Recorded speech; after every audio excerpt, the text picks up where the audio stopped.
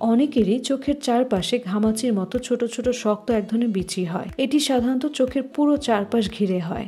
আপনার কিংবা আপনার পরিচিত কারও মধ্যে কি এই সমস্যা আছে? এটি মিলিয়া নামে এক ধরনের র্যাশ বা ফুসকুড়ি, কিন্তু অনেকে একে ব্ল্যাক হেডস ভেবে ভুল করেন। এগুলো খুব ছোট হয় এবং দেখতে সাদা বা হলুদ রঙের থাকে। ব্ল্যাক হেডস বা ব্রন যেমন দুই আঙ্গুলের ডগা দিয়ে চাপ দিয়ে ভেতরের ময়লা আশটা বের করে ফেলা যায়, মিলিয়ার ক্ষেত্রে তার উল্টো। এর ভেতরে থাকা ক্যারোটিনের কারণে এটি বেশ শক্ত হয় এবং একে পাকানো যায় না। কাদের ক্ষেত্রে এই সমস্যাটা বেশি দেখা যায় বলুন তো? আপনি নিশ্চয়ই দেখেছেন, কিন্তু এই মুহূর্তে মনে করতে পারছেন না। কারণ নবজাতক শিশুদের মধ্যে এটি খুব সাধারণ। তবে সব বয়সের মানুষেরই এই সমস্যা হতে পারে। এই ছোট সিস্টগুলো শরীরে যে কোনো জায়গায় হতে পারে, তবে চোখের চারপাশে, চোখের পাতা এবং গালে বেশি হয় এবং এই জায়গাগুলোতে এগুলো বেশ ঘন করে হয়। এর কারণে অনেকে ইতস্তত বোধ করেন, কারণ এই সিস্টগুলো দেখতে মোটেও ভালো লাগে না আর কোনো মানুষই তার মুখে অপ্রত্যাশিত কিছু নিয়ে স্বাচ্ছন্দ্য বোধ করে না।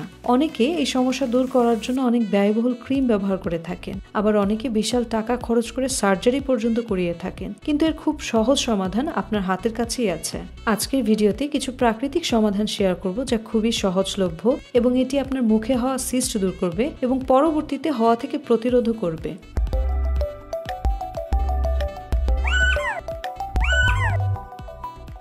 মধু। মধুর পুষ্টিগুণের কথা কারও কি অজানা? এতে প্রচুর পরিমাণে পুষ্টি থাকে, যা আমাদের ত্বকের জন্য খুবই উপকারী। মিলিয়া দূর করতেও মধুর জুড়ি নেই। মধু ত্বককে হাইড্রেট এবং পুষ্ট করে, পাশাপাশি এটি ফুসকুড়ি বা র্যাশ দূর করতে গুরুত্বপূর্ণ ভূমিকা পালন করে। এই সমস্যায় মধুর ব্যবহার খুবই সিম্পল। দিনে কয়েকবার আক্রান্ত স্থানে মধু লাগিয়ে রাখুন, এতেই আপনি ভালো ফল পাবেন। Tea tree well. রূপচর্চায় এই তেলের ব্যাপক ব্যবহার রয়েছে। এতে এমন কিছু উপাদান রয়েছে যা প্রাকৃতিকভাবে ত্বককে গভীর থেকে পরিষ্কার করতে সহায়তা করতে পারে। এর ব্যবহারও খুব সাধারণ। এটি সরাসরি ব্যবহার না করে সমপরিমাণ নারকেল তেলের সাথে মিশিয়ে আক্রান্ত স্থানে ব্যবহার করুন।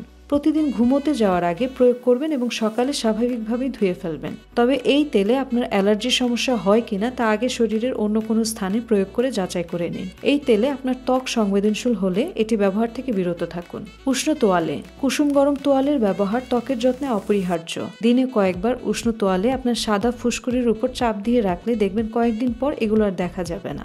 কর্ন স্টার্চ এবং আপেল সিডার ভিনেগার। কর্নস্টার্চ হলো কর্নফ্লাওয়ারের মতোই এক ধরনের মিহি পাউডার। কর্নস্টার্চ এবং আপেল সিডার ভিনেগার একসাথে মিশিয়ে একটি পেস্ট তৈরি করুন এবং আক্রান্ত স্থানে ত্রিশ মিনিটের জন্য প্যাকের মতো করে দিয়ে রাখুন। ত্রিশ মিনিট পর ফেস ওয়াশ ব্যবহার করে ধুয়ে ফেলুন। ব্যাস। কয়েকদিন পর দেখবেন আপনার সিস্টগুলো ভ্যানিশ হয়ে গিয়েছে। চিনি, জলপাই তেল এবং লেবু মিলিয়ে দূর করার সবচেয়ে ভালো রেসিপি হলো এটি। একটি লেবু থেকে রস বের করে নিন।